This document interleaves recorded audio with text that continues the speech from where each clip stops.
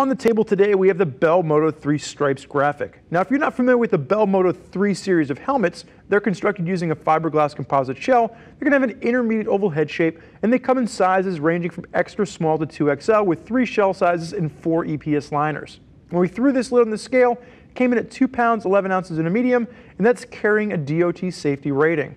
Now what you're going to see here is a retro line graphic and the paint is going to depend on which color you choose. There's two different colors and if you go with the silver, black, and blue that you're going to see right here, you're going to get a matte finish and if you go with the black, brown, and orange, that's going to give you a glossy finish to the paint.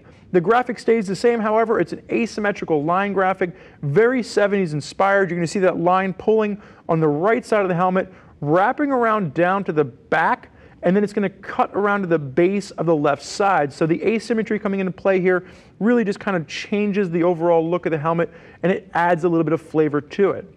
Like I mentioned, two different colors are available for this colorway and no face shields are included in the box. It's designed to be wearing goggles with this lid. If you want to learn more about the Bell Moto 3 helmet, click the info button and head over to Revzilla.com where you can watch a detailed breakdown where we rip apart the lid to give you all the facts.